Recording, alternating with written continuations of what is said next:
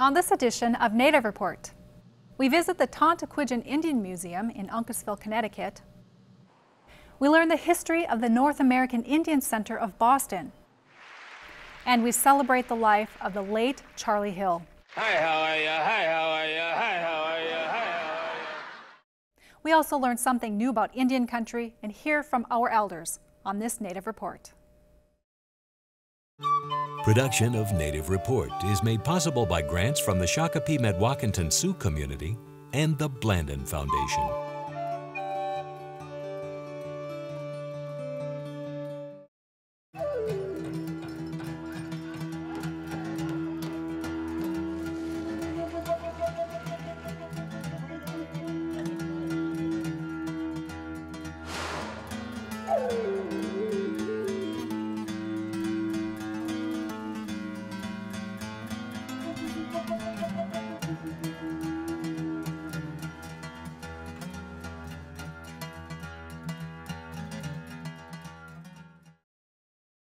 Welcome to Native Report. I'm Stacey Thunder.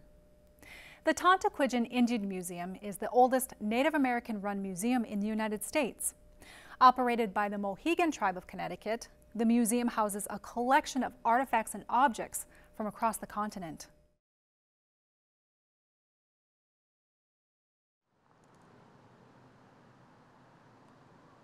This stone lodge on the Mohegan Indian Reservation is the Tantaquidgeon Indian Museum, which houses a collection of Mohegan and other Native American artifacts. It is dedicated to the ideal of education. Welcome to the Tantaquidgeon Museum. It was built in 1931 by John and Harold Tantaquidgeon. They um, had housed a lot of these articles that are in this museum in their home, and so they decided they wanted to build a museum and present their viewpoints to the public so they would get to know them better. And it was a good thing they did because two years after they moved all the articles up here, their house burnt down. This particular room houses Mohegan items for the most part. We also have some Mohegans and um, northern um, coastal Indian items in that one, and the other room is we call the Southwest room, and it houses items from the West, Southwest, and some South American items. This is what we call our um, leaders board, um, sort of, and there's a lot of chiefs up here and important people to our tribes, including women. Um, they were all artisans. Um, some of the carvings, this one particular one I was mentioning, the fire, um, my grandfather had saved one of the beams from that and carved this and donated this to the museum. He also did some beadwork. Um, this was from Chief Mataga. He did um, a lot of utensils, and these were typical wedding presents that they would present to the brides. Looking at these items, it reminds me of the way things used to be. Um, we've changed so rapidly with the um, onset of gaming that things have just progressed. Um, this reminds me of the old times when you would sit around and you would actually have conversations with people and you know do crafts together. Obviously, my grandfather's items are very important to me too because he's actually these earrings came from my father who got his education about beading from my grandfather, so it's all connected somehow. The Mohegan hold their chiefs and sachems in high regard. A statue garden honors their memory. The medicine women also hold a special place in Mohegan culture. In one corner of the lodge stands a wood carving in the likeness of Gladys Tantaquidgeon, co-founder of the museum. I'm standing in front of my great aunt, Gladys Tantaquidgeon, who lived from 1899 to 2005. She was 106 when she passed on, and she led her people through most of the 20th century as a medicine woman and also uh, as a member of the tribal council in, in, in many different capacities. She learned from her traditional elders. When she was a small child, she was selected. They actually called her everyone's grandmother, uh, Nanaskidambak, because she was the type of child who really captured the imagination of the older people. Uh, they felt that she would do great things. The carving of Gladys is really an interesting piece. It's made of a single piece of basswood, which is a sacred tree to us. It's called weekup in our language because it's a cure-all. It heals, which is in many ways what Gladys herself was like. She was a, a healing kind of a personality, a good-spirited person. Gladys belt is a very interesting piece. It comes from a time before the American Revolution. And what's interesting about it is it was only worn by three women. They had such longevity. Martha Uncas passed it on to Fidelia Fielding. These are Mohegan women. Fidelia Fielding's Indian name was Flying Bird, and Flying Bird passed it on to Gladys. And so Gladys died in 2005, and this belt, which was only owned by three women, came into existence in 1769. So with it went many of our stories with the belt, and that's why it's such an important piece of our culture. Gladys is holding a small basket, which also has significance because it relates to offerings that we give to some of the spirits who are important to us. And her clothing, again, is, is Eastern woodland design. She's a tiny, tiny lady. In the yard adjacent to the museum is a replicated Mohegan village that features a traditionally framed wigwam and longhouse. This longhouse and a wigwam. Longhouse tended to have two or three families. In this area, they could be up to 60 feet long and house up to 12 families. Every family had their own fire pot and their own beds. They're made out of poplar, which is the outside bark, and the inside structure is swamp cedar. And they take the saplings and they have to dig down. Then you bend those saplings, cross them over, time together, so then you have that structure that you attach the bark to, and then the outer rings hold the bark into place. Um, they're very well made. Um, in the summertime, they're very cool. If you put the mats on the inside, it's like air conditioning with the air circulating. And in the winter, that's just like you're having heating in your house, and it keeps the wigwams warm. I think this village adds a lot because now we have an outside attraction as well. And a lot of people don't even come into the museum. They will just come and look around the village and sit up here. We're on Mohegan Hill. Um, a lot of the Mohegans lived in this area um, that were, you know, it was not just on this area, but in this general area, this is where we all lived. I lived across the street, and like I said, my grandfather lived on the other side of the museum. So every day I would walk through this path to go to my grandfather's or my grandmother's house. And Harold or Gladys or Ruth would grab me every single day and show me something, you know, that was related to something in here. So this is what we have. You can't just replace any of these items, so it's our heritage and our culture.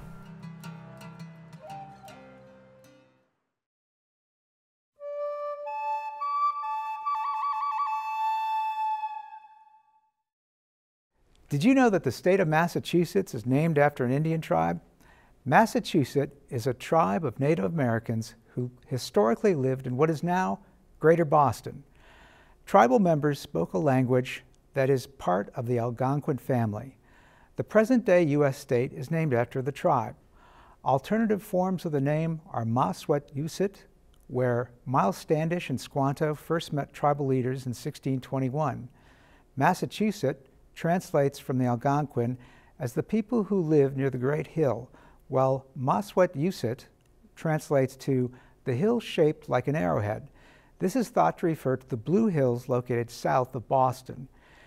As one of the first groups of indigenous American peoples to encounter English colonists, the Massachusetts had a rapid decline in population in the 17th and 18th centuries due to new infectious diseases descendants of the tribe continue to inhabit the greater Boston area, but it is not a federally recognized tribe.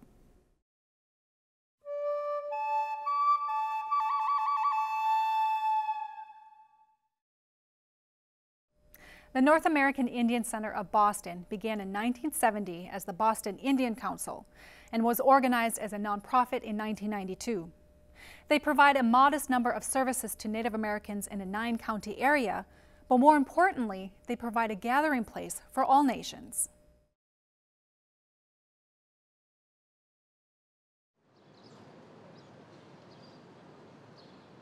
A few miles west of historic downtown Boston is the North American Indian Center of Boston. It was on October 20th, 1970, when the center was incorporated. This is the oldest urban Indian center in the Northeast. Uh, we were meeting in the 60s, 1960s, right across the street from the uh, Boston Commons. Uh, there were a handful of Indians because we realized Indians, this is not like other places where you're going to find a lot of Indians in one place. For example, Boston is a neighborhood kind of city. For us, our numbers are so small, we don't constitute enough people to have a neighborhood. So we're dispersed all over, all over the city. So this building represents who we are. It re represents who we are as a people. And if you look around the building, many, many different tribes here. Uh, the 70s was a very, very exciting time. We had Indians from everywhere. What is the first thing an urban or an Indian does when they hit the city? They look for an urban Indian center. They look for other Indians. I've lived here for quite a few years, since 63, and um, raised my family here and have been working at the Indian Center since um, I believe we're 78, quite a few years. Um, and it's been very important for me to be uh, involved with the Native community here. And I've been here as the Employment and Training Director of the North American Indian Center of Boston for a number of years. And um, we've helped a number of people find employment by educating, by training, and trying to help them keep those jobs. And we've worked with youth and, and um, people of all ages. And so it's important um, to me to make a difference for Indian people. At one time, the center had upward of 100 employees, but due to cutbacks, there is only a staff of five. However, the center still provides services to the region's Native American population the people that are here in the city, city, they need training. Lots of times they need housing. They need social services. Uh, they need an advocate. I mean, one of the things is, yes, we, um, to lose the Indian Health Service contract did devastate us, but we're still here. Right now, I think we have just five employees and uh, a lot of that happened with the uh, overtime having the you know not just the federal recognition but the loss of a contract that was over half a million dollars is hurting us now we have lots of folks who help us and don't get paid and i think you're only going to find that in indian country you're not going to find that in these big corporations that people put their whole heart and souls without getting any compensation whatsoever. We don't. My board in particular, our board of directors works very, very hard. They are not just um, figureheads, they work. Because without them working, we couldn't even uh, get this far. Joanne and Janice are also commissioners on the Massachusetts Commission on Indian Affairs. Both view their appointments as another way to serve the greater Boston Native American community. In Massachusetts, we have a number of um, Indian people separated. Uh, we have some of the tribes are here, but we also have just Indian people who have moved um, to Massachusetts for education or a number of, of different uh, reasons. The job of the commission is to help Native people in any way that's needed. It might be legal, uh, might be educational, might be health, but all of these issues come to the commission. And as commissioners, we discuss them and we deal with them and we advocate to, um, to the state government what might be a good solution for Native people. I'm not saying they always listen to us or take our advice. However, we're there to make sure that that advice is given. I represent the North American Indian Center on the commission to have a place where Indians can come together and meet other Indians and, and just feel like you're connected. It's like family, you know. And that's, that's this place. I think the Creator blessed us in many ways too and saved us because indeed we are still here and we're challenged, but look how long we've been serving our people. You will always be welcomed here at 105 South Huntington Avenue.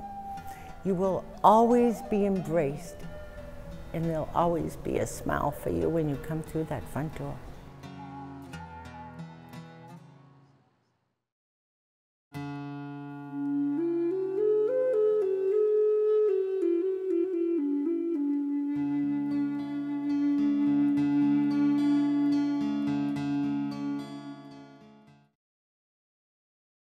These people have just done is uh, reenacted uh, this march back in November 7th through the 13th, 1862, when 1,700 of our people, primarily women and children, were force marched 150 miles from southwestern Minnesota around the Morton, Redwood Falls area 150 miles to the concentration camp. And again, soldiers enforced this. We just got done there with that little ceremony where a lot of us were carrying like a twig with a, well, like a branch, I guess, with uh, ribbons on it. And on those, on the ribbons was names of known people who were on that march. And, uh, and the, the young people who are running it, they were very thoughtful and they knew that one of my relatives was Hazawi, her name, and that means in English, blueberry woman. And uh, they gave me her, that, that uh, branch with the, with a name, with a ribbon on it to carry. And then in the circle, we were to put it down. And uh, anyway, uh, when I put it down, when it said, uh, Kungshi, Azawi, Wopi Tanka, Echichiado. Tears came to my eyes. I said, you know, Hazawi, Blueberry Woman, thank you so much for what you have done.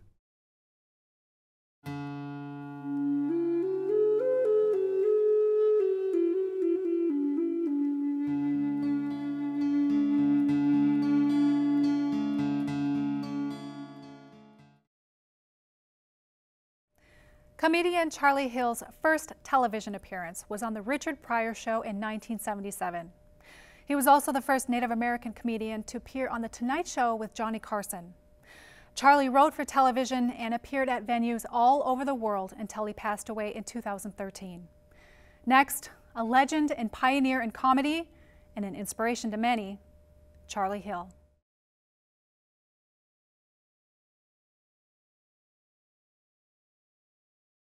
Thank you. Thank you. Thank you. Thank you. Thank you. Thank Um, it's been a great evening here and everything. And white folks, you were here two hours, not one incident. I'm so proud of you people. Because everywhere you go, lots of white people, there's always trouble. It got a little quiet in here, didn't it? Oh. And I'm just kidding. You're not white. You're all pink like raw hot dogs. You know? Indian is what I am, and comedy is what I do. I've never called myself an Indian comedian, though some people say it, they mean it different. And Indians say they mean it different than the nuns. And I mean, Whitey, uh, uh, uh, what, what, what, you know, that's something we never say in real life, non-Indian. We say it in polite academic discussions, but we never say it in real life. Look, look at those non-Indians over there by the pickup. We, we don't do that, you know. Any, anyway, uh, um, I've never called myself that. I don't mind they refer to me that but you never say you're a Jewish attorney or a Negro athlete or so on. So, so I just, you know, Indian is what I am and comedy is what I do. And I'm, uh, you know, Seinfeld calls himself a, a observation comic, so that's what I do, but I see it through native eyes. We can fix it because we have. The storytelling tradition of native cultures expresses the truth, wisdom, and the humor of human existence. Comedian Charlie Hill was a storyteller who related his life experiences to all audiences, but used humor as his medium. The war on terrorism, hell, we've been fighting terrorism since 1492. Every comedian has a different point of view, whatever their background is in doing it. There's a lot of comedians that are cookie cutter and they all sound the same. Then there's ones that have their own unique thing and I think the best ones are the ones that are real and true and, and, and like that. So, so I talk about my experiences through my point of view. And as I got older, I got bolder. And as I got older, I had more things to talk about. When I started, I was more blunt than funny. And, and, but when I got older, I started having family and more experience, and I got more maturity to my, my delivery and everything. So I think if you grow as a person, you grow as anything else you do. But that's the idea of it. I think that Energizer Bunny must be Indian because he's got the little hand drum he uses all the time, you know? I think when you talk to Indians, it's if you're Indian, you're talking to family. So when you're talking to your family at the dinner table, you don't have to preface anything. You can go into a story about your brother and they know what you're talking about. With, with natives, our experiences, if I did a BIA joke in a club, they, boom, they would know what that meant. So if I'm in LA, I might do a Hollywood Boulevard joke or an LA thing. I went to college five and a half years, folks, and I became a sophomore. I'll tell you, those years are really meaningful to me. You know how bad I did? I was probably the only Indian in history ever to flunk archery. I'll tell you, that's really embarrassing. Most Americans know Indians from the attitudes toward them. They don't know them. You know, when they're kids, they grow up playing cowboys and Indians, or they see us in objects that count. You know, 10 little Indians. That's why I, I sing 10 little whiteys when I do the shows, show them how stupid that is. And, and also, uh, uh, when you get them to laugh, then they connect. That's, that's really what I do. With, with, with Indian people, it's like talking to the family. With the nons, sometimes like talking to third graders because they don't know Indian people. And I think when, when white folks don't know Indians, then they don't know America because we're right in their faces. And after all these years, if they don't know us, how can they know anything more about their own science, their art, their own medicine, and what's good for people on the other side of the globe? Here we are, right there, and they're, still studying us. white folks, you wouldn't even be here wasn't for Indian people. There wouldn't even be in America wasn't for us. You know, this is, would still be Europe Junior. And you came to this country and we taught you how to survive. We taught you about democracy. We taught you how to fight the British so you could be free. Hide behind the trees. Charlie did his time on the comedy circuit and stepped into the national spotlight by appearing on The Richard Pryor Show in 1977.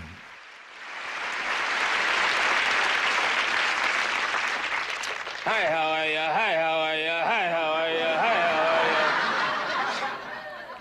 are you? I um usually have problems doing my act, you know, because I uh, know a lot of you white people never seen an Indian do stand-up comedy before, you know. Like for so long, you probably thought that Indians never had a sense of humor, you know. We never thought you were too funny either. I learned my stuff at the comedy store. You know, right here's a plug, Mitzi.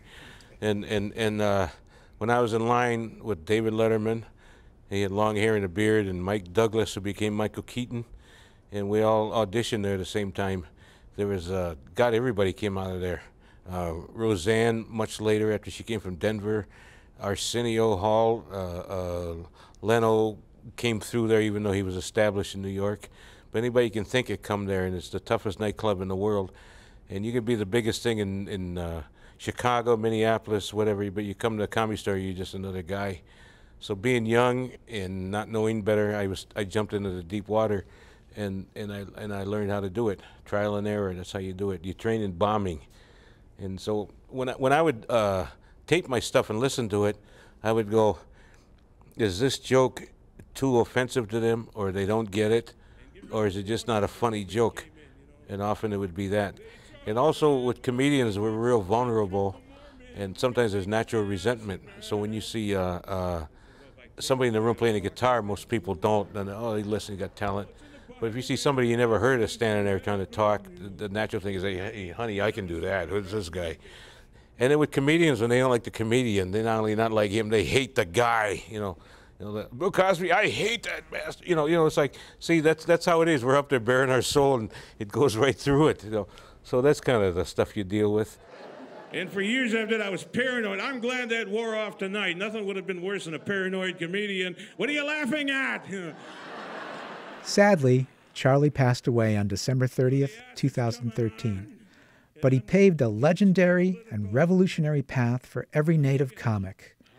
And his gentle ways and humor is missed by the friends, family, and audiences he leaves behind a guy came up to me today, and he was just a, a right wing lobbyist, and he came up to me, and a white man, and he said he really liked my show.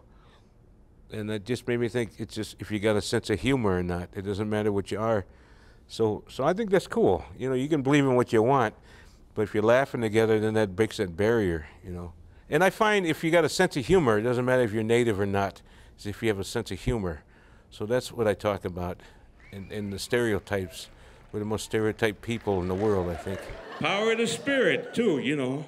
That's African Americans. They, they're living proof, too. You can't extinguish the human spirit. And they brought us the blues. They taught us, you know. It's just like our stuff.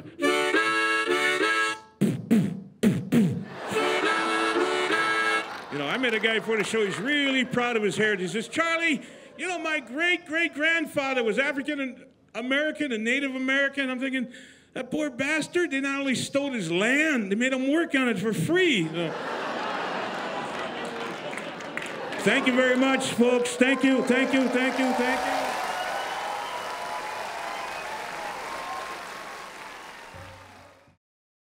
For more information about Native Report or the stories we've covered, look for us at nativereport.org, Facebook, and Twitter.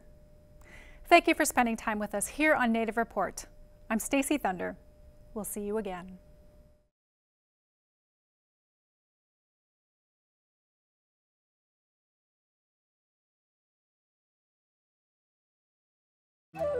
Stacey Thunder is Ojibwe from the Red Lake and Lakota Ray Nations and is the Legislative Counsel for the Mille Lacs Band of Ojibwe. Professor Tadd Johnson is the Director of the Master of Tribal Administration and Governance program at the University of Minnesota Duluth and is an enrolled member of the Bois Forte Band of Chippewa.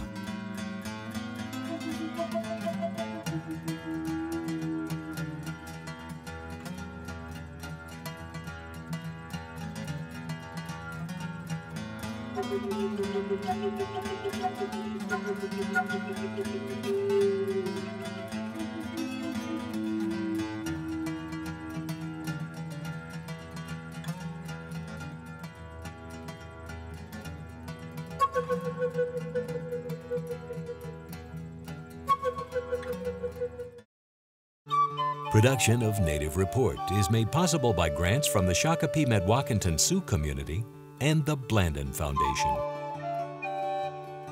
Closed captioning is provided by the Grand Portage Band of Lake Superior, Chippewa.